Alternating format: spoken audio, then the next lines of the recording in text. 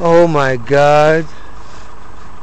The night of March 19th, March 20th, I'm back home again on Seagirt Boulevard on a full moon night. And this is, it's cold. I can live through this. I can live through this. Remember me? Remember me?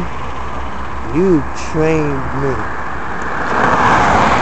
I got out 35 years ago, and I'm going to show you that what the military gave me,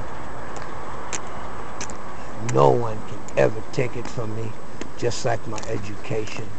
And a whole lot of you who seem to think, well, you got a doctorate. Look, man, it's a title. I didn't go get it to make money off of it. I can do better than that.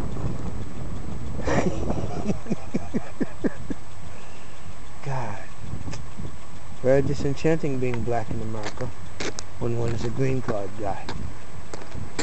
Let me go home. I'm going to sleep. See? Before I walk away at the beach, full moon night. Nursing home community. I want to go to Florida.